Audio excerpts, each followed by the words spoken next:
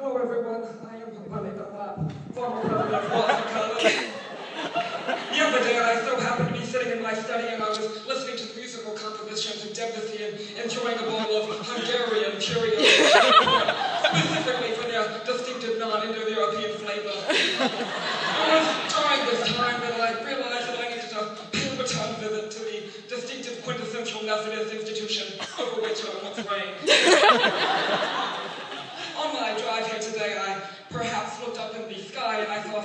Geese. They were migrating to their winter home, and it instantaneously reminded me of one of my favorite scriptural passages, and that is Psalm 190, which states that your words to my ears are sweeter than honey in my mouth, or as they like to say in French, suis plein croissant. This culmination, this amalgamation, this cornucopia of events, it made me realize that we all have so much to be so very thankful for which is notably Vienna sausages and non-hexagonal close packing.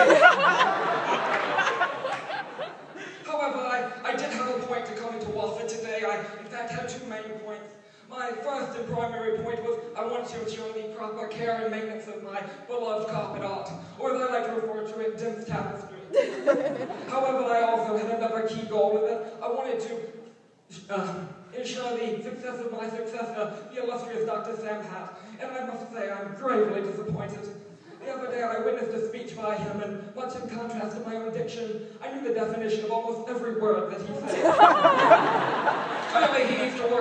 a litany of common idioms that do not occur in the vernacular of the student. As much as I would like to stay here and talk to you all night, I have just been informed that there is a rampant outbreak of deep vein thrombosis in the Carpathian Mountains of northern Hungary. I do not want to keep my helicopter pilot waiting. Thank you so very much.